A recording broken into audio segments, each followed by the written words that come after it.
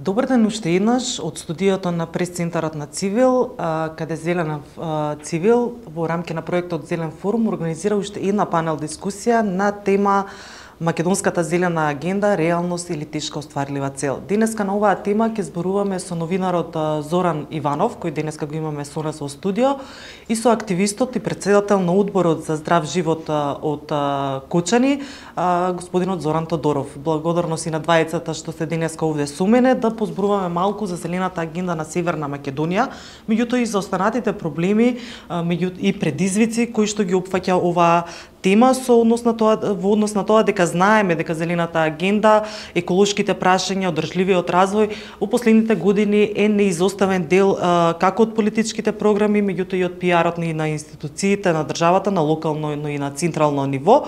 А, но па, се повеќе се зборува за овие теми и во медиумите, во пошироката јавност, па и во академ, меѓу академската фела. Денешниот фокус на денешнава панел дискусија ќе биде насочен токму кон тоа дали зелената агенда во Северна Македонија има своја перспектива, докаде се процесите и кои се предизвиците. Мора да биде реална, дури да не е реална и да сме песимисти, но јас сакам во оваа пригода само да кажам дека овде сум навистина во на еден граѓанин кој сака да даде придонес во тоа што се вели зелена агенда и овој зелен форум се надеме да ден ќе стане изрел форум, нели, особено за, за помладите генерации. А, остварлива е. А, ние, јас само мене едно нешто ме плаши. Ке си земам за слобода да тргнам од мојата возраст, дека мислам дека во многу сектори, кога зборуваме за екологија, ние регресивно како да се враќаме назад со однесувањето со свеста и така натаму. Од тука мислам дека неколку се клучни клучни фактори. Прво, тоа го повторувате и вие во овие тематски емисии. Прво, многу е важно воспитувањето на домашно, што го велиме. Второ, како се однесуваме на улица, на работа, не знам, како медиумите се однесуваат, како во, во малскиот живот, што го нема веќе, како се однесуваме во зградите, во стамени каде што живееме, како се однесуваме кога домашните миленици ги шетаме, Мислам дека за мене клучот е ние граѓаните прво, мислам дека сме клучот сепак и покрај институциите од од општина до држава, нели или од кварт од местна заедница до држава, мислам дека клучот е во свеста на граѓаните и дека ние оној домаќинлук стар што некогаш го има во малата каде што се живееше, каде што навистина беше непријатно и беше дури срамно некој од домаќините, домаќинките наутро дворот да не се го исчисти или да го остави на вечер со со ѓубри или со не знам листови, дали се природни или вештачки од од тоа што ние како како отпад го оставаме, мислам било непријатно, било срам. Мислам дека тој срам треба да го вратиме во нашето секојдневие и ние денеска сме сведоци на пример кога вака градски луѓе ќе речам кои одат во администрација на работа до терани, нели, на шминкани и мажи и жени. Се вајле сметот им е далеку 20 метри да го фрлат во контейнер, па ќе го фрлат во малите корпи за сидни отпадоци, нели? Тоа е тоа се тие грди слики или кога ги шетаат домашните миленица и кои ќе им направат бербат, тие не носат ништо со себе или ќе дзирнат лево десно дали некој ги гледа, ако никој не ги гледа ќе поминат. Ако ги гледа ќе се снајдат некако им е срам. Значи мислам дека срамот треба да го вратиме за да задржиме, зачуваме екологијата. Да видиме дали колегата Зоран веќе има тонска линија. Тодоров, истото прашање да. и за вас. Еве исто така од граѓанска перспектива, дали се слушаме колку е реална зелената агенда во Северна Македонија? Дали ме слушате сега? Да, да, ве слушам. Повелете. Е, добро. Па јас во голем дел би се сложил со, со Зоран што го кажа сега на почетокот, а тоа е дека свеста на граѓаните е на многу ниско ниво и дека сите, да кажам, се што пробавме во претходниот период и ние и другите граѓански здруженија да ја подигнат свеста, некаде вродува со плон, некаде не. Во разговор со некои словенски здруженија во тоа на кој начин тие дават предлог да се подигне свеста кај граѓаните, тие рекоа во градинките. Значи треба да ствараме генерации кои имаат свест за екологија и за зачувување на својата околина, уште од градинките за да можеме да добиеме, да кажам, некоја свест која војнина ќе ја ќе биде на многу повисоко ниво.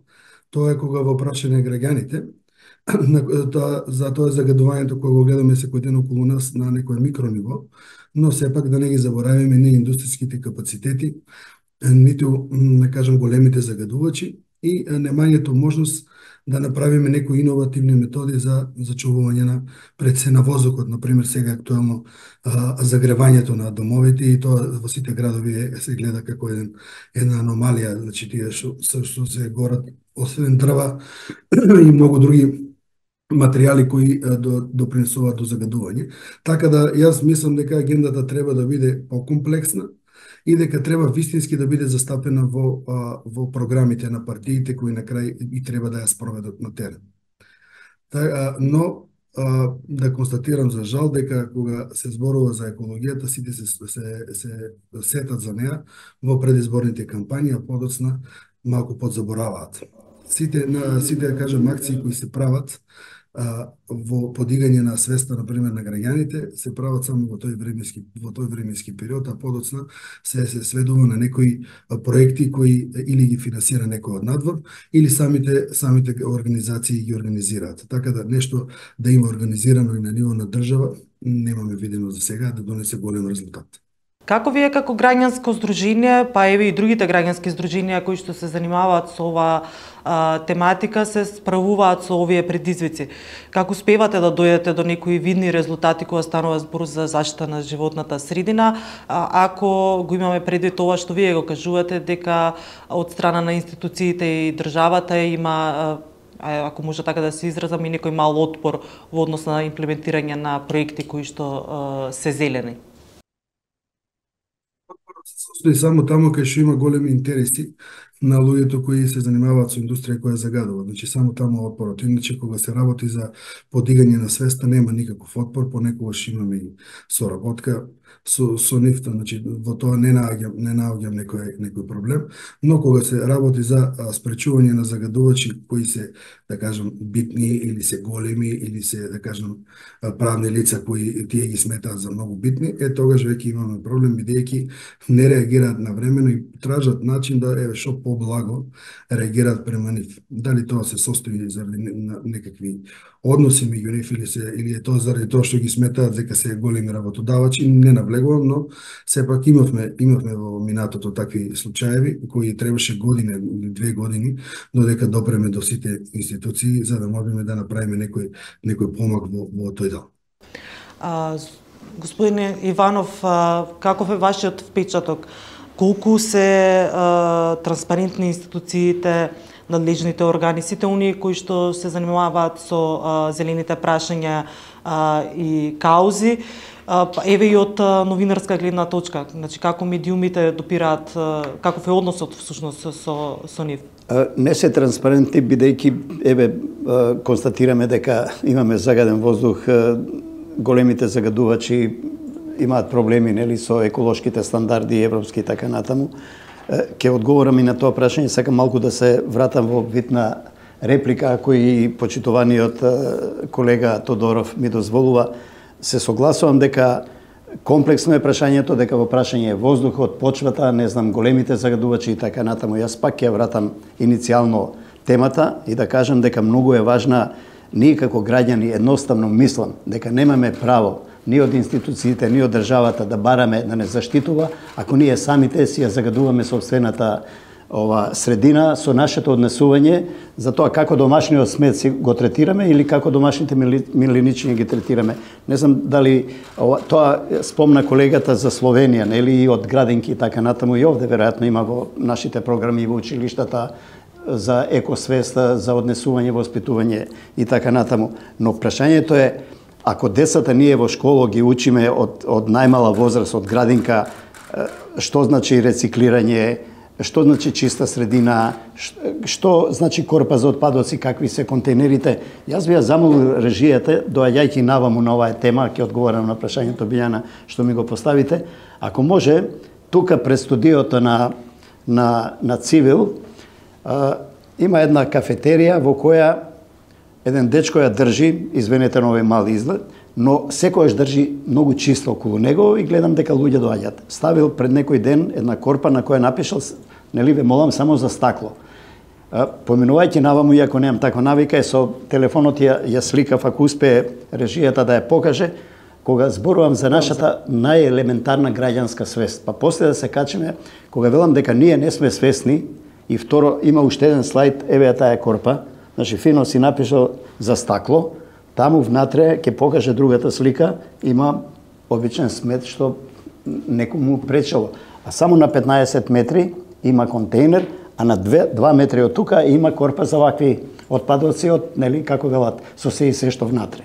Значи, тоа сме ние. И сега кога ќе дојдеме дома, сакаме да ни биде чисто. А кога ќе бидеме надвор, тоа нам не ни припаѓа. И сега бараме од институциите, се не ги бранам далеко од тоа. Си има министерства, плата примат и така натаму, од општини до, до не знам што.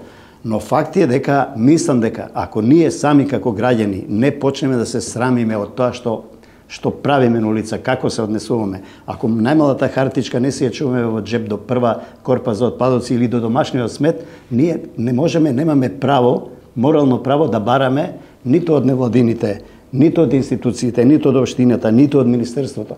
Имаме право, се разбира, за тоа се погото институциите платени и работените од нив.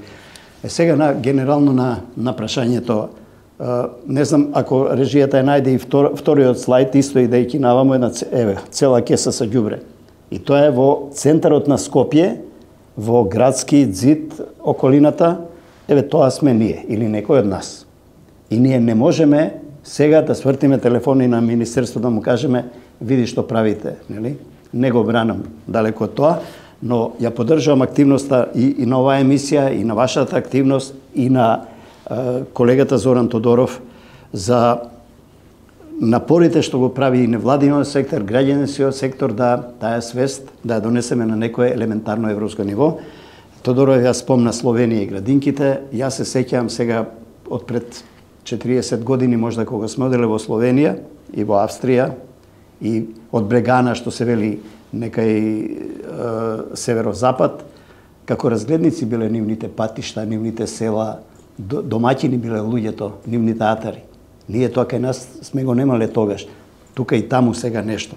Значи се сепак е до нас какви сме ние, такви ни се политичарите, такви ни се институциите и обратно, нели? Со санкциите е можат малку да не дресираат во најубава смисла на зборот.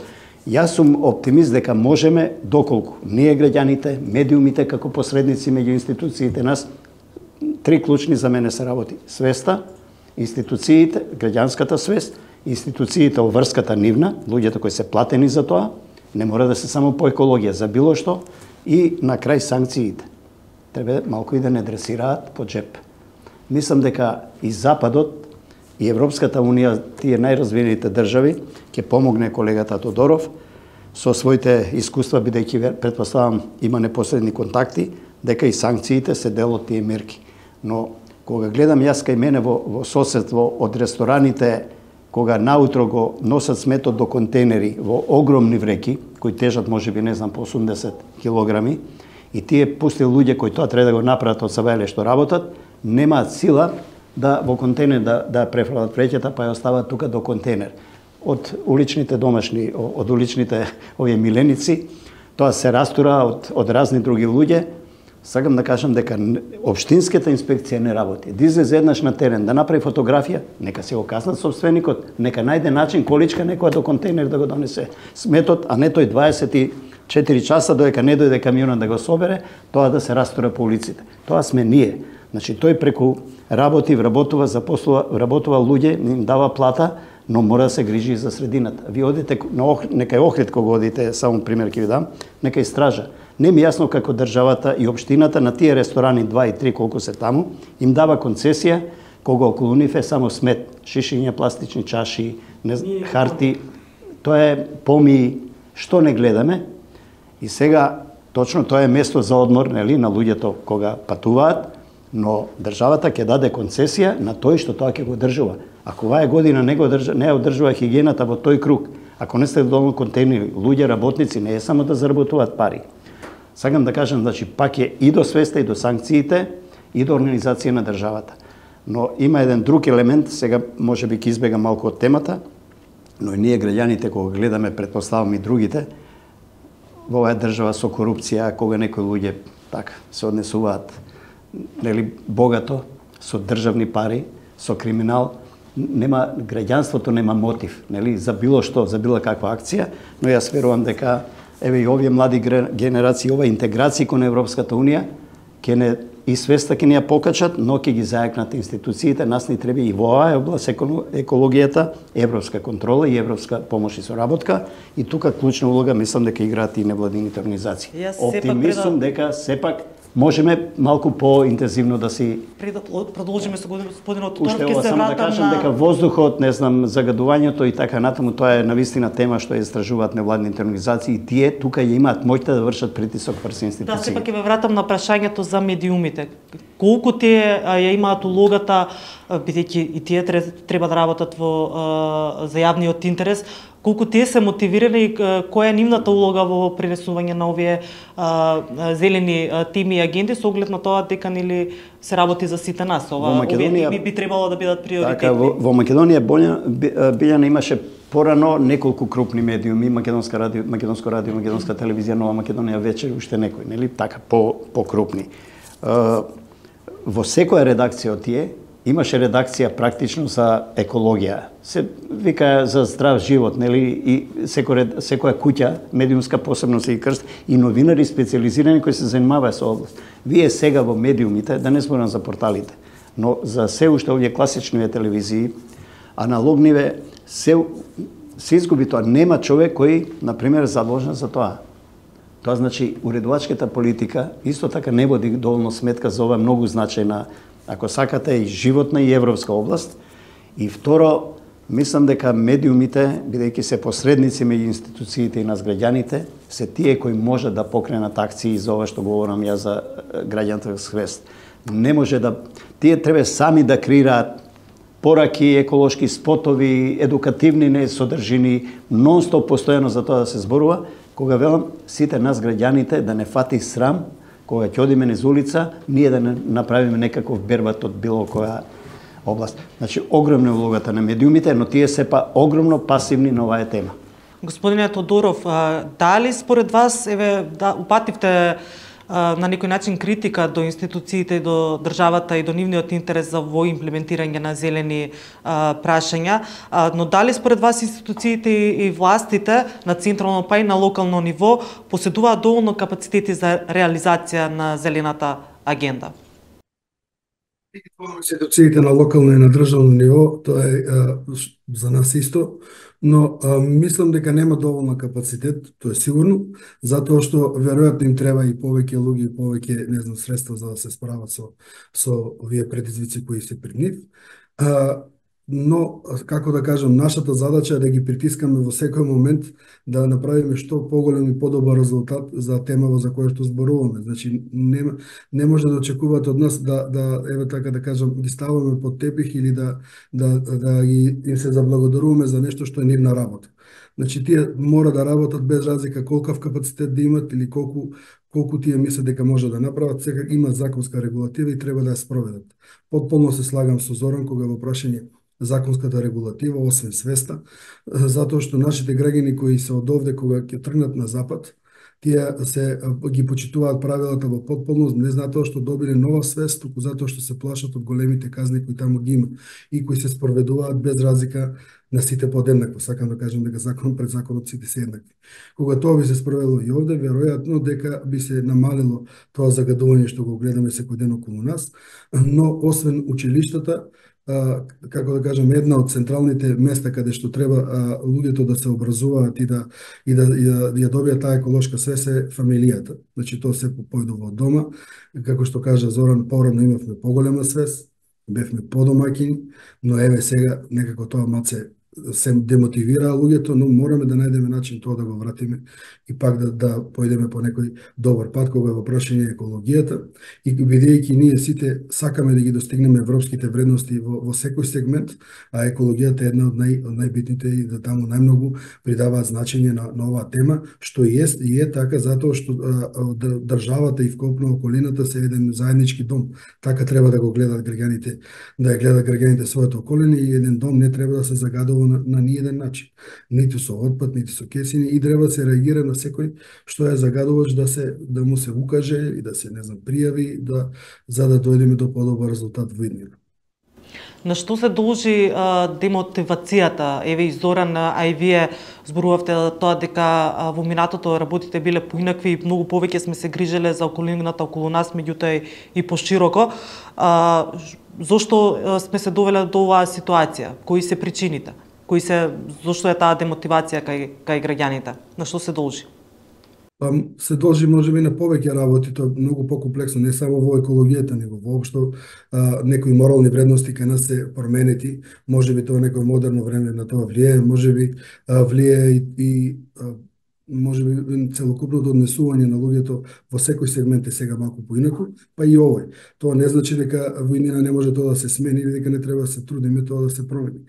Значи, не, не треба тоа да биде само констатација за која сме ние помирени тоа е, значи, едноставно со сет на мерки и со информирање, како што кажавте, и медиумите имат огромен удел во ова, кога би исполнил медиумите во подигање на свеста на граѓаните, но тие имаат уште поголем улога во притискање на големите загадувачи кога е во прашање било каков инцидент бидејќи само кога на медиумите излезе некаков еколошки инцидент, само тогаш сите се заинтересираат и се загрижуваат дека тоа се случило.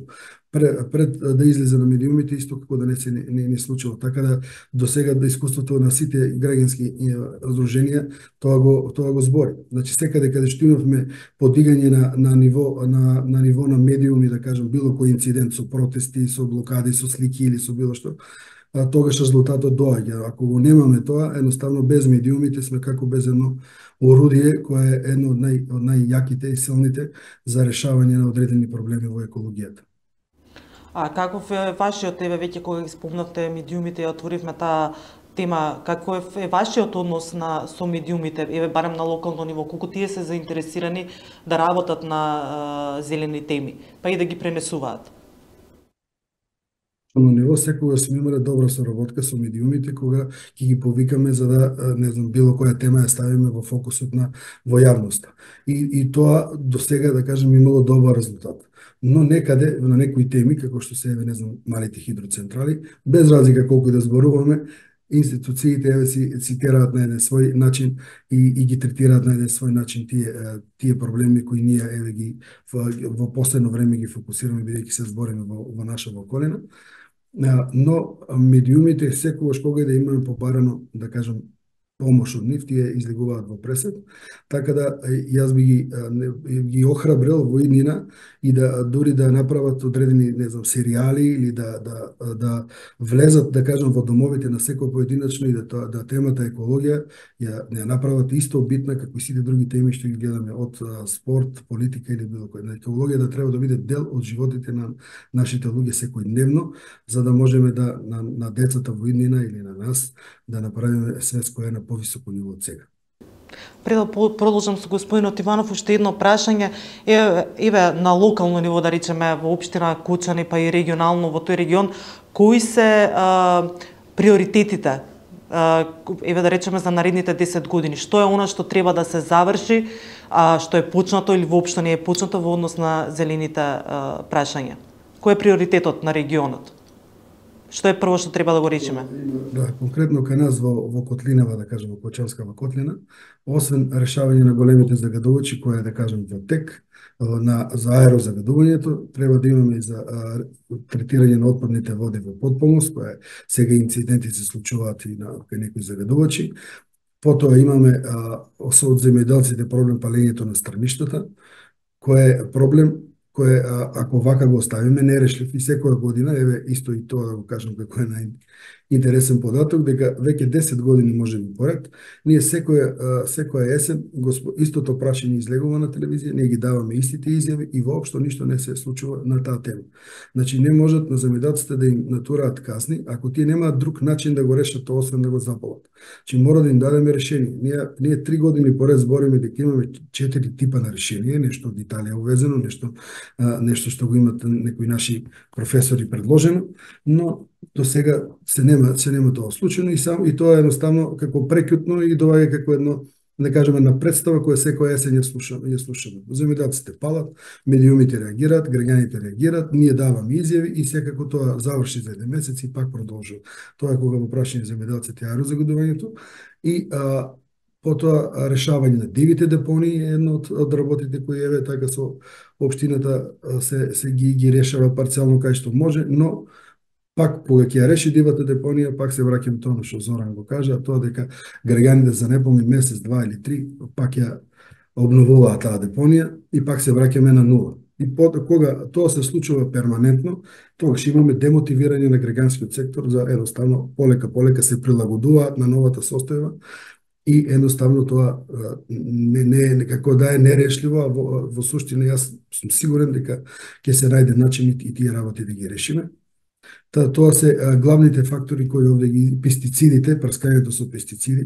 Исто така беше едно од фокусот во, во предходниот период наш, дека треба да, да се разговара, да се, да се разговара и да се види кој е регулатива и кој ги контролира тие а, прскања пестициди кои се користат во земјоделието, кој пошто е познато во наш регион. Еве тоа се некои така локални проблеми кои ви ги нафрлив и кои пробаме сите здруженија заедно, сите тие активисти и луѓето граѓаните да еве го ставиме да најдеме некој решение за тоа заедно со институциите. Че потребно е системско решение и заедничка соработка меѓу сите чинители, од граѓаните до институциите и државата. Господине а, Иванов, според вас, дали можеме да зборуваме за политички консензус во државата кога станува збор за зелената агенда? ги спомна практично сите сегменти и тоа е екологијата, нели, и една државна агенда како треба да се одвива од граѓани до институциите, до сите и назад, нели? Преку ние сега еве аплицираме дали ќе почнеме преговори или не политичко прашање, но факт е дека сме на, на, на европскиот пат некако згазнати и дека ние аплицираме кон европските вредности да станеме дел од унијата ни преговори. Еден од кластерите е и ова екологијата и тоа голема област. И тука кога станува збор за македонските интеграции во Европската унија, тука јас пак ќе речам можеме ние граѓаните заедно со медиумите да покренуваме граѓански акции за она што е наша околина, нашето однесување кон екологијата, кога одиме на, на излет или по планина, да, не, но и државата па не смее да дава дозволи или да дозволи диво да се градат во заштитени зони, да не ја ширам темава премногу или воздух, почва, не знам, вода, нека се грижи државата и нека ги санкционира загадувачите.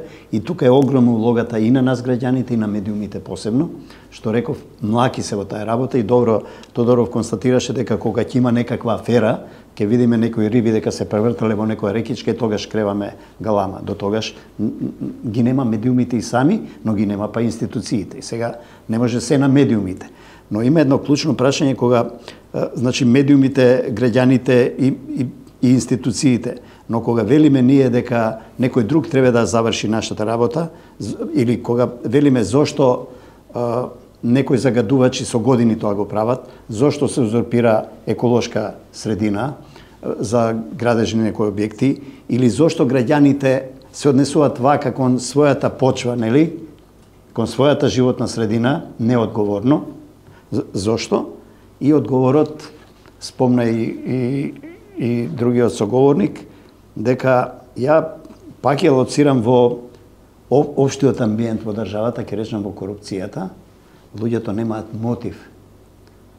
Немаат мотив за ништо, но јас сега ќе почнат, спомна и Тодоров околу еве избори, рано е се уште, но веќе се загреваат, се, се забрефтува таа кампања меѓу партиска и политичка. Една од темите ќе биде екологија.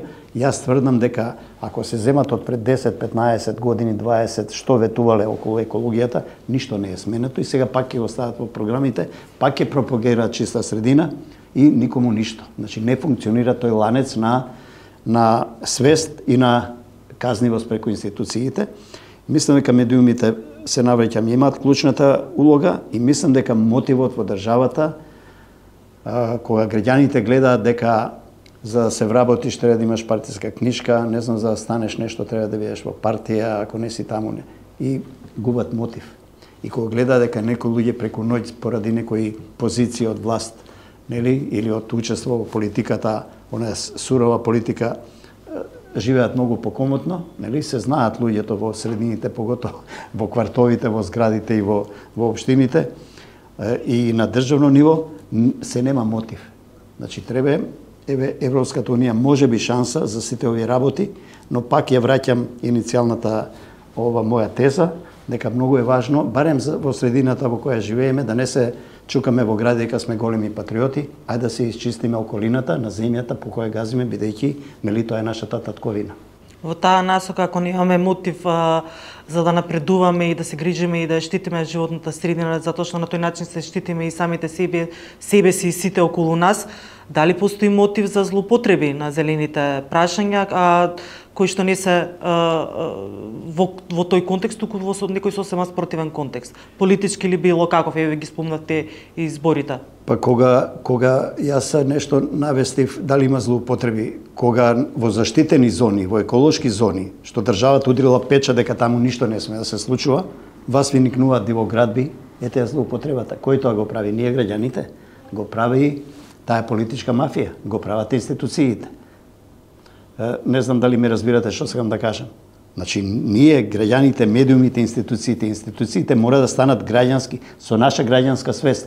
Ако ние можеме ѓубрето од смето да си го носиме со себе, да го ставиме таму каде што му е место, тогаш институциите за платата што ја примаат вработените, да не седат во канцеларии и во општините. Нека излезат таа бројна администрација да прошета малку по со качињата на, на општината, да разговара со луѓето, да ги праша зошто не извадат некоја канта пред нивната зграда, бидејќи општината нема пари. Значи, сакам да кажам да се само организиран. Ја спомнавме Словенија, нели, или другите земји. Тоа таму така се работи, луѓето малку и се само организираат. Но за да го направат тоа, ова што Билјана го спомнавте, треба да имаме мотив. Тоа не е можеме вие, јас, Тодоров, не знам уште некој, да се однесуваме, условно да речам, еколошки. Но тоа треба сите да го преме масовно. Но и ние немаме мотив, еве и јас, кој ќе гледам дека некој не се однесува така, а е поодговорен од мене, дури и плата прима за тоа што треба да го работи. Не знам дали ме разбирате.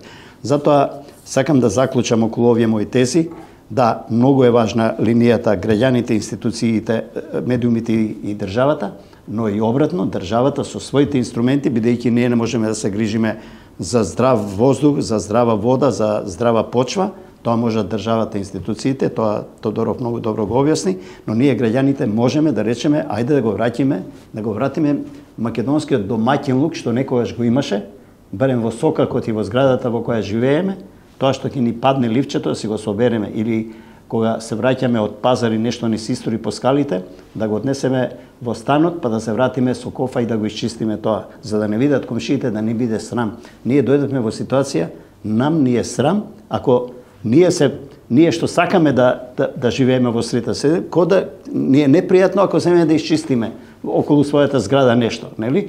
Мислим дека некој ни се посмева. Ајде да го издржиме и тој притисок и ајде да ги натераме сите тоа така да го работат. Господине Тодоров, за крај колку се алармантни злоупотребите, еве да речеме на локално ниво или да во регионот, дали некогаш сте се соочиле како здружение, па како и граѓански активист во таа насока? И да заклучиме кои се перспективите, дали има шанса за нас да бидеме ако не повеќе како Словенија? Не знам баш како Словенија, но да се трудиме да бидеме како Словенија би било доволно. Значи, треба да се направат некои од системски измени до подигање на свеста на граѓаните во, во, и во двата правца да се, да се бориме подеднакво. А, зелената агенда и движењето наше кон Европска унија секако ќе ни допринесе да еве малку тие одговорните лица или партиите се сетираат и да размислуваат малку по европски. Тоа би бил би бил среќен дека и де, да биде така и сум сигурен дека ќе биде бидејќи само кога а, решаваме некои поглавја, ние се а, тогаш ангажираме околу одредена тема, така да кога се отвара некое поглавје за екологија кон Европа, јас очекувам подобри законски регулативи, но од друга страна очекувам дека и граѓаните, сакајќи да живеат како во Европска унија, треба сами да се сетираат и да бидат европски граѓани. Тоа е една основа која треба заеднички да, да, да кажам да ја буткаме таа зелена агенда.